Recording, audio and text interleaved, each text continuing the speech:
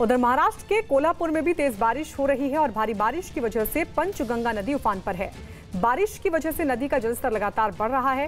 Radhanagari dam के दरवाजे खोल दिए गए हैं। डैम से लगे गाँव में अलर्ट जारी कर दिया गया है। तो बारिश की वजह से पंचगंगा नदी उफान पर है तो उधर राधानगरी डैम में भी लगातार पानी का स्तर बढ़ रहा है, जिसकी वजह से डैम के दरवाजे खोल दिए गए हैं। और सबसे बड़ी बात यह कि अगर डैम के दरवाजे खोल दिए जाते हैं तो पानी इस रफ्तार से आसपास के इलाकों की ओर रुख करता है कि वहाँ बाढ़ जैसे हालात बन जाते हैं।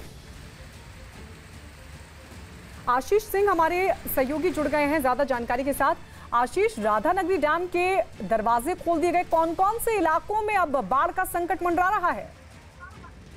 जी, मुख्य रूप से देखा जाए तो राधानगरी डैम का जो पानी है वो सीधे सीधे उतरते हुए पंचगंगा नदी में मिल है। और सबसे बड़ी बात यही है कि इसकी चपेट में आने से शिरोली गाँव सिरोल चिकली गाँव और ऐसे आसपास के कई इलाके जो हैं वो पूरी तरह से प्रभावित हुए हैं। शिरोल के जो है कुरुंदवाड़ और इसके अलावा अर्जुनवाड़ जैसे कई इलाके प्रभावित हुए हैं। वहाँ पे प्रशासन इस वक्त जुटा हुआ है। लोगों को स्थानीय लोग जो हैं उन्हें निकाला जा रहा है और सुरक्षित जगहों पर पहुँचाया जा रहा है। सबसे अहम बात यह है कि कुछ दिनों पहले ही बाढ़ आई थी और बाढ़ के बाद जो है स्थितियाँ सामान्य होना शुरू हुई थी लेकिन फिर मूसलाधार बरसात ने उनके जनजीवन को अस्त व्यस्त करके रखा है। फ़िलहाल जो है एनडीआरएफ की जो दो टीमें हैं वो कल रवाना कर दी गई थी और वो अब लोगों को सुरक्षित जगहों पर पहुँचाने में जुटी हुई है लेकिन अभी भी बाढ़ के हालात बने हुए हैं।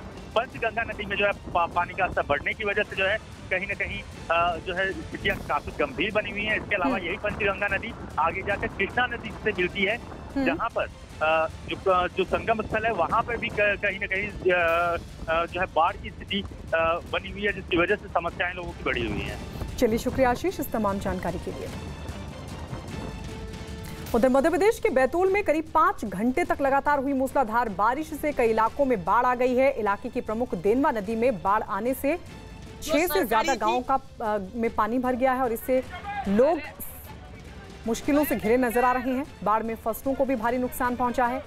एक पानी का टैंकर भी बाढ़ में किस तरीके से बहता चला गया ये देखिए। ये टैंकर पानी का ये टैंकर बताया जा रहा है जो कि तेज बहाव के बीच बहता चला गया।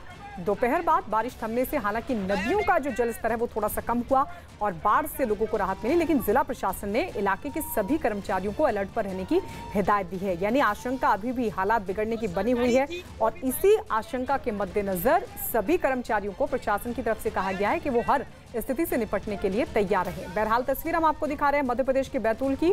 पानी किस कदर अपना कहर बरपा रहा है? बारिश और बारिश की वजह से चारों तरफ़ पानी ही पानी इस पानी में।